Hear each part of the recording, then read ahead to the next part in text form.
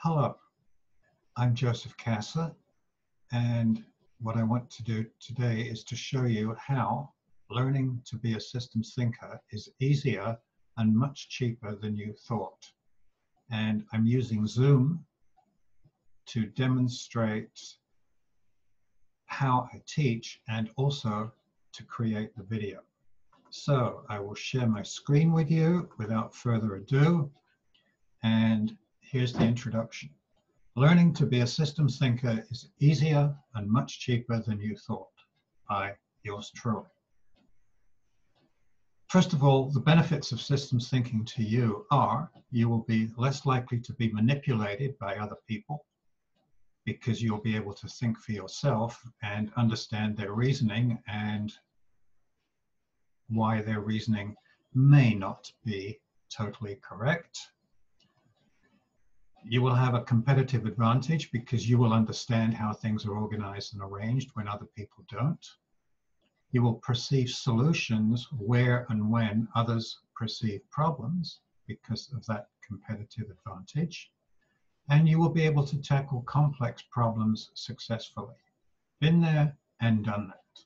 Well, if these are all the benefits, why aren't more people doing it?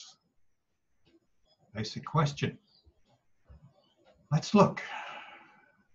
Once upon a time, I was teaching postgraduate classes in systems engineering in the Systems Engineering and Evaluation Center at the University of South Australia. I could teach the history of systems thinking. I could teach the benefits of systems thinking, but I could not teach how to be a systems thinker.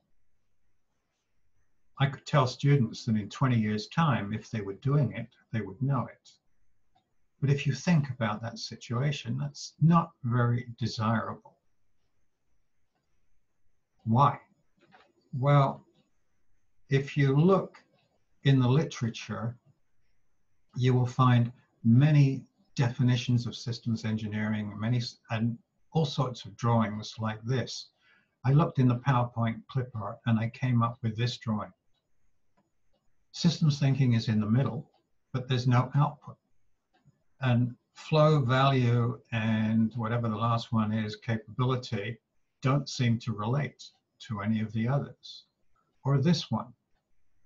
It's a very nice drawing. It's, it's good for hanging on a wall, but it violates the basic principles of systems thinking, which include keep it simple student and the principle of hierarchies or this one. A colorful thing, but it's so ambiguous, it's meaningless. I really don't like these kind of drawings. Or this one, there's a wheel, all this stuff in it. And so you look at things like this and you say, well, well, go away, it's not for me. Well, let me tell you that this is not what systems thinking is all about. I didn't like that situation where I couldn't teach systems thinking. And so I had the chance to go to the UK.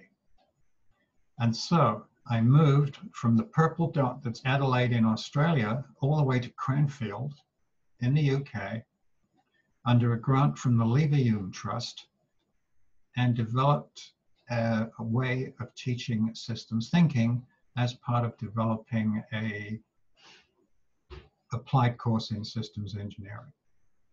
And a year later, when that was done, I was asked to go to Singapore and I went to Singapore, that little red dot on the map, and continued the research in working out how to teach systems thinking in an effective way.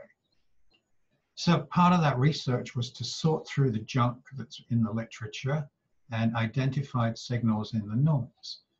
If you're an electrical engineer or a communication engineer, you'll understand what that meant. And I found two schools of thought, systemic and systematic thinking. And most people thought one was system thinking or the other was systems thinking. Only one person realized that you had to do both. And so you too can be a systems thinker because I developed a simple, effective way to teach systems thinking. I started teaching this way in 2008 and I'm still fine tuning it. And I found that postgraduate students found it easy to learn.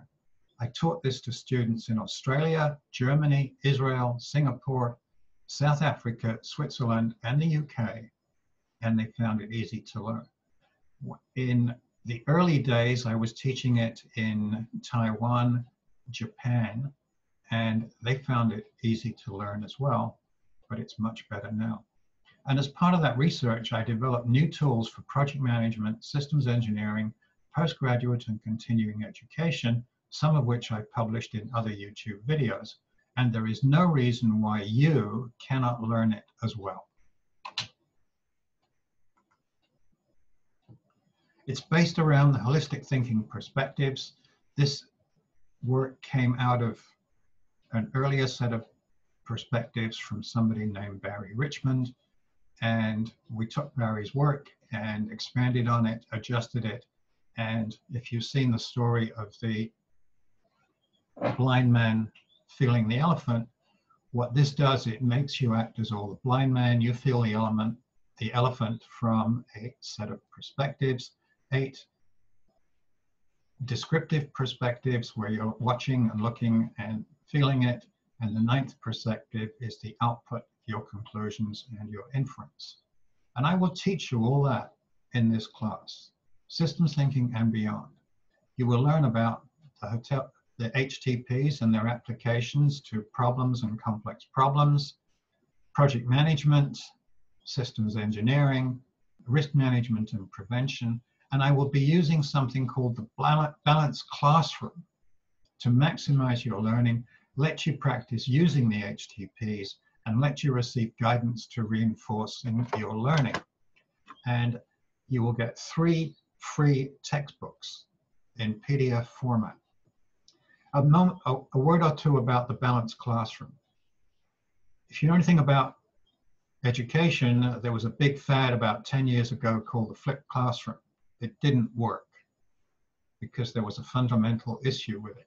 However, I was able to overcome that fundamental issue with something called knowledge readings.